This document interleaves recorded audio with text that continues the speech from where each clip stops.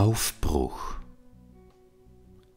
Alte Gewohnheiten wie überflüssigen Ballast über Bord werfen.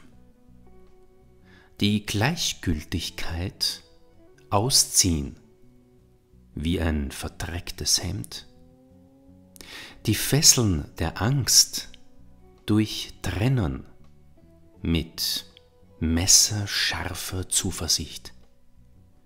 Die Lebenslügen fortjagen über alle Meere.